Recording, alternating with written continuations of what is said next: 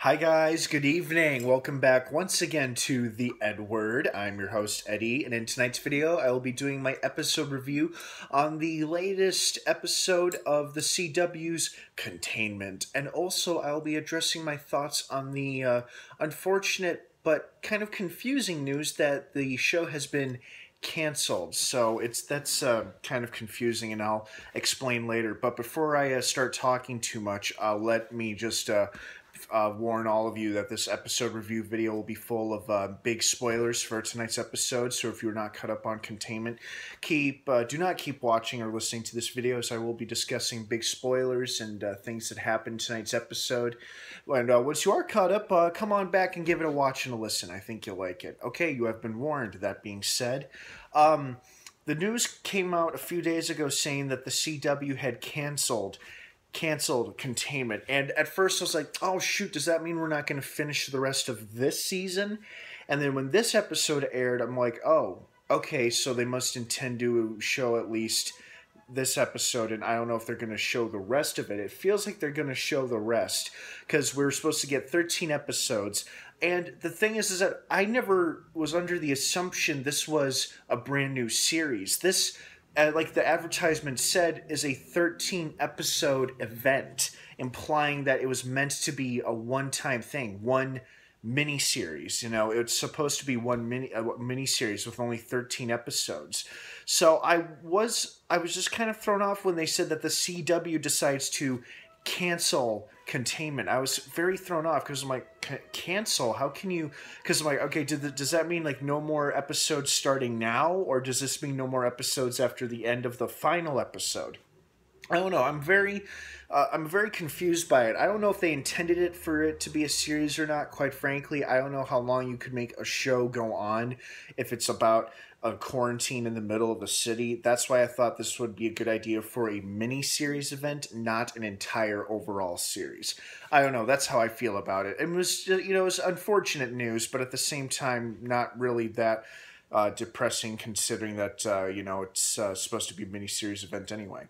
So, getting to the episode tonight. Uh, tonight was about you know people uh, starting to you know really feel like uh, feel like they're really under pressure. They're starting to hit their breaking points because it's like everybody inside and outside of the cordon has a job to do, and people are starting to lose their cool, their patience, and they're starting to hit their breaking point. And some of them are beginning to question as to whether or not they should keep following orders, so to speak. Uh, you know, they pu- they pulled a very uh, risky move. They uh, successfully brought in a food drop, and I was actually expecting a full blown panic riot scene when the full when the food drop happened. But they actually informed the citizens inside the cordon we are having a food drop at this time at this location, and everybody just get in line and you'll all get a box of MREs. Was like, wow, I'm I'm kind of surprised as to how they're handling this. It feels like they would do it in a bit more of a secretive way so that they don't have everybody swarming at them. But maybe not. Obviously, things were handled pretty well up until the point the gang or the the gang members showed up armed to the teeth and uh, robbed them of the rest of the food.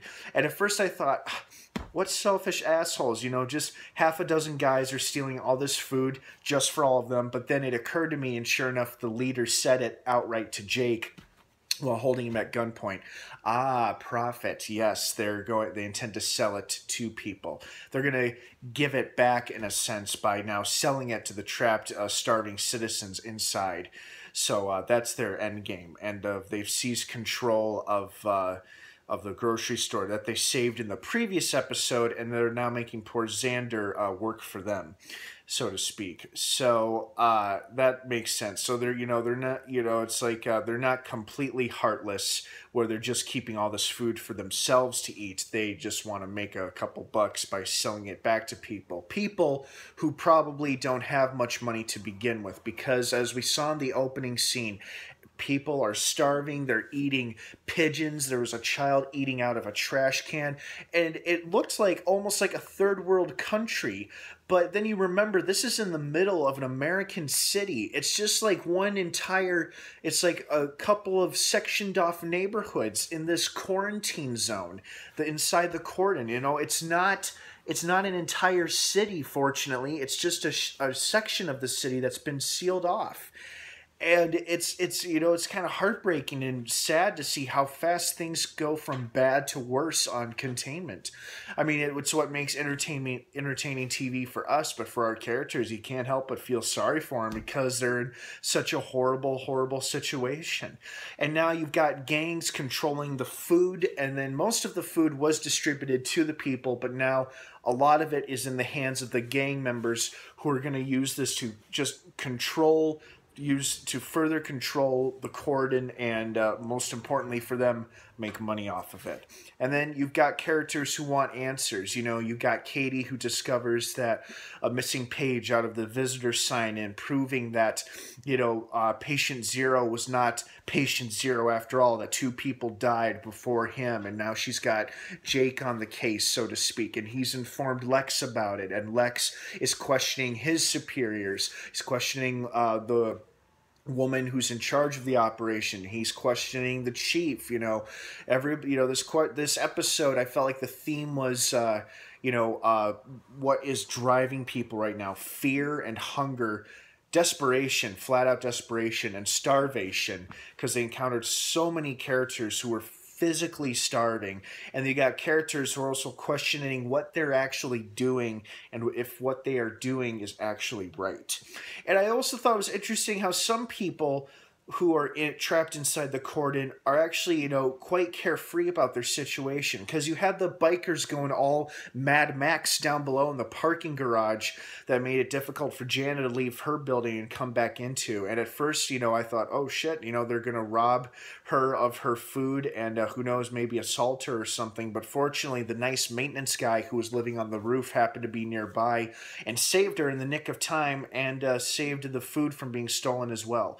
But I was was just surprised at how carefree these guys were acting by dicking around on their motorcycles and just going around like there was no problem. Like it wasn't the end of days. Like they're just like, oh, whatever, you know, we don't have to work, we don't have to do anything. Let's just, you know, kick back and relax and play around on our motorcycles while everybody else starves and worries themselves out there. Whatever.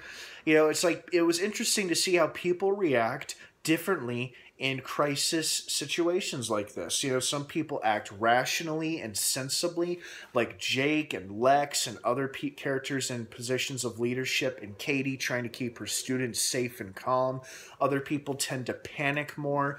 Others uh, tend to take advantage of the situation, like the leader of the gang you know, you got different kinds of people in a crisis situation. It makes for great storytelling. And I'm also curious as to what's going on with the cop who was supposedly uh, left behind on accident during the food drop. It seems like it seems like it's implied that he is sent behind enemy lines, so to speak, by the chief of police don't know what his, what his plans are yet. He's clearly got orders that he's got to carry out, but we don't know what's going on yet like I said, all the more for uh, great storytelling and good television. I was sad to hear the the story that uh, you know the show was canceled, but I wasn't entirely heartbroken either, knowing that this was only a thirteen uh, episode event. So. Uh, oh well. Well, guys, I hope you liked this episode of Containment as much as I did. I hope you're not too heartbroken about the news concerning it being canceled. Uh, also, uh, please don't forget to uh, subscribe to this channel for more review videos like this one and uh, like this video. And uh, check out my facebook page in the description down below. What did you guys think of tonight's episode? Was it good? Was it about the same? Uh, were there parts you didn't really care for or confused you? Please leave your thoughts opinions and your feedback down below in the comments section. I would love to hear from everybody. As usual let's please keep it, keep it civil and be respectful of one another's beliefs and opinions. Uh, check out containment every tuesday night on the cw uh, you know, we're uh, almost halfway through uh, the first half of uh, the mini series, and uh, you know, I think it's just going to keep getting better and better and more intense with each episode. So, uh, very exciting stuff, and I hope you guys liked it. Thanks again for stopping by here on the EdWord. Have a great rest of the night, and of course, until next time, may the force be with you.